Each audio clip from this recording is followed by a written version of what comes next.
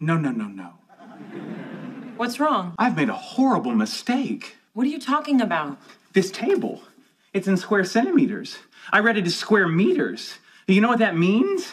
That Americans can't handle the metric system? Amy, I was off by a factor of 10,000.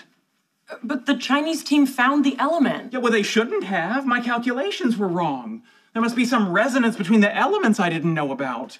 So you just got lucky? Sheldon Cooper does not get lucky. You and me both, brother.